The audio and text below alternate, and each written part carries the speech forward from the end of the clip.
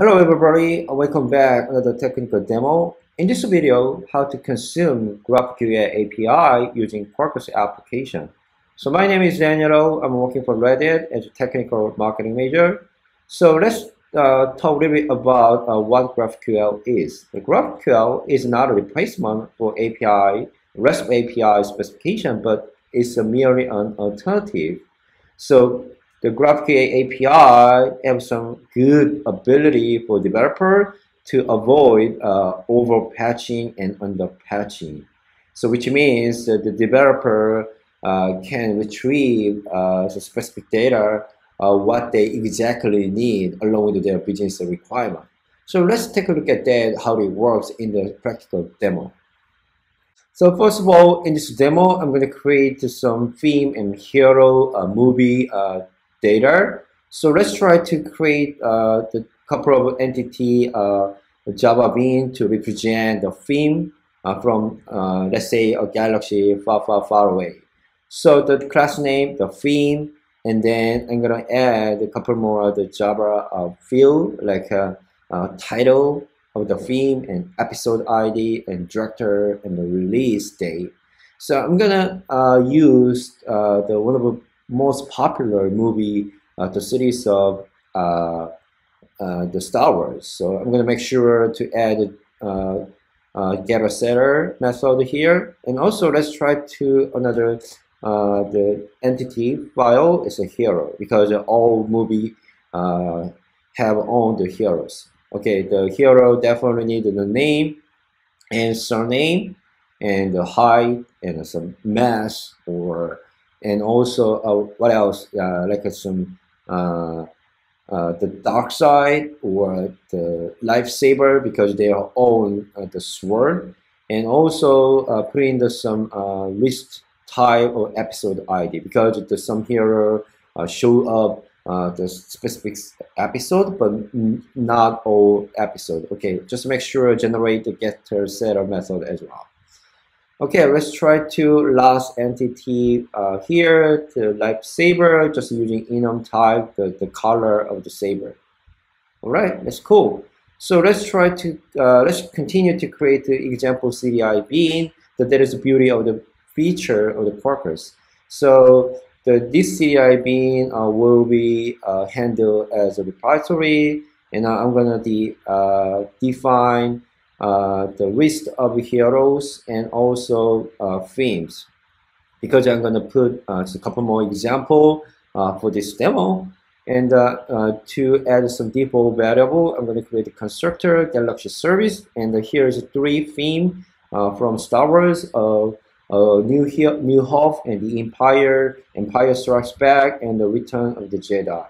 And to add the theme already to all three movies, uh, with specific attributes. All right, and move on next. So next step, uh, we're gonna add uh, the, some uh, default uh, hero uh, data. So here is the one of the three major heroes, Darth Vader and uh, Leia Organa, and also Luke Skywalker and make sure to add the three heroes into uh, heroes of a race object. I'm gonna add heroes to add uh, Luke and then uh, Reyna and also last one is Darth Vader.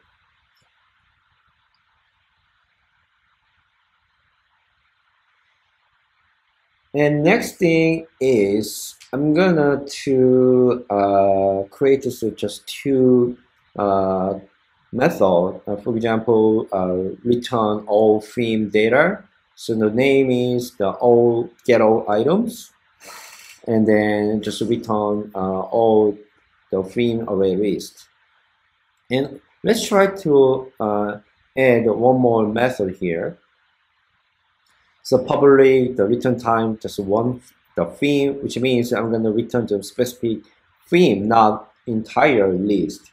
So this is why I need to some uh, unique ID here and return uh, that uh, the theme information based on that ID. So make sure the all import package here. And then, yeah, so let's try to create our uh, the GraphQL API, the resource Java class here. So make sure uh, the first thing is the class name is a theme resource here. And then I'm going to add uh, GraphQL API annotation here. It enables uh, developer uh, to have a CDI bean, and that CDI bean uh, will be GraphQL endpoint. And then we're going to use the query annotation.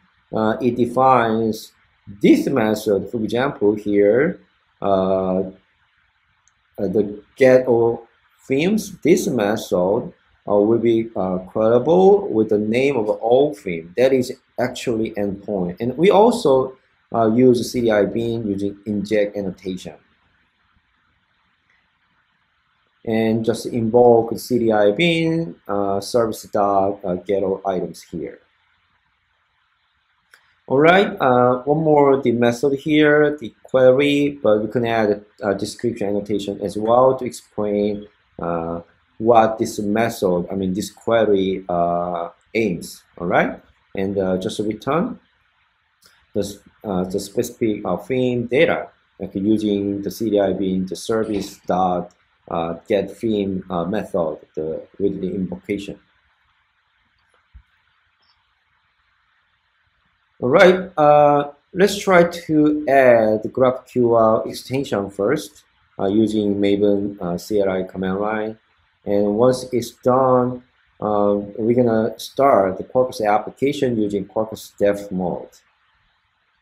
Once Quarkus application is startup, uh, you can find here two uh, extension is already pulled down, the CDI and the SmallRye dash GraphQL.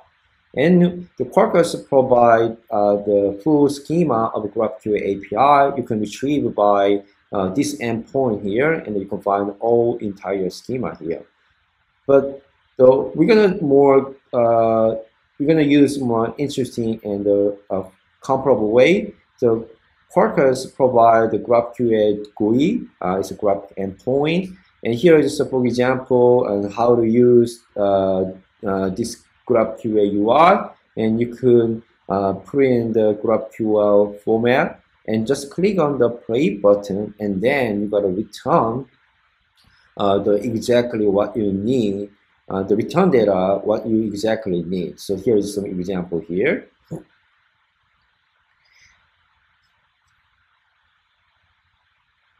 So let's try to uh, call uh, the old theme using uh, query syntax, and you're gonna find the three uh, theme we already put it in the CDI bean by default uh, uh, default variable, and also we can change that the query condition because sometimes the, the client side doesn't need to all data, so they just need to maybe release or title, which means uh, they don't they don't need to invocation twice. So query uh, GraphQL uh, make you just call one time. Uh, this is avoid uh, overfetching, and also uh, you can put in the multiple uh, query at the same time, like a field uh, the field ID zero, field ID, field ID one, but you can just hit the play button, but you can't you got the, the exactly data without one invocation. So, so this is the under, avoid the under fetching problem as well. So this is a really good thing uh, why you needed to use GraphQL uh, uh, for specific case rather than uh, RESTful API. So I'm going to create another technical video uh, about how to expand uh, the existing API using GraphQL API, as well as how to use a mutation, uh, not gonna break uh, the existing uh, GraphQL API. Stay tuned and thank you for watching. Have a good rest of the day.